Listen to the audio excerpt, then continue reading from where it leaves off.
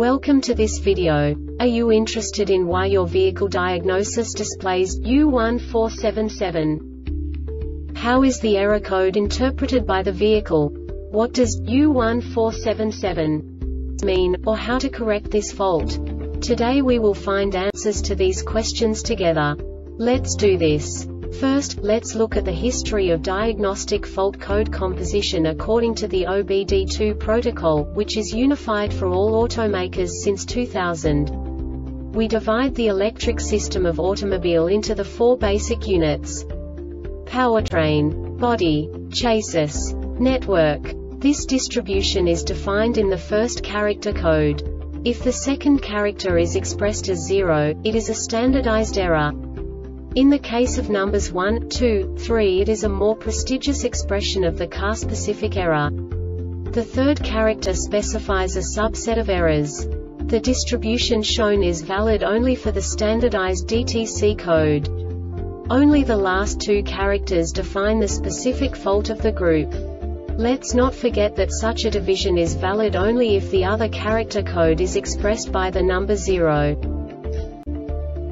Our website airbagreset.sk produces useful videos for you. You do not have to go through the OBD2 protocol anymore to know how to troubleshoot any car breakdown. You will find all the diagnostic codes that can be diagnosed in a Dodge vehicles. Also many other useful things. The following demonstration will help you look into the world of software for car control units. You unbelievably can move the video a bit further. The error code is split into two bytes consisting of 16 bits.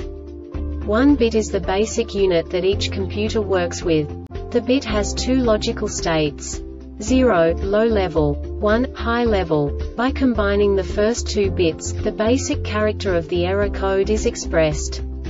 The next two bits again determine the second character. The last bit styles of the first byte define the third character of the code. The second byte is composed of a combination of 8 bits. The first 4 bits determine the fourth character of the code. And the combination of the last 4 bits defines the fifth character.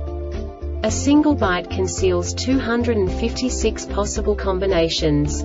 We now know in what way the diagnostic tool translates the received information into a more comprehensible format. The number itself does not make sense to us if we cannot assign information about it to what it actually expresses.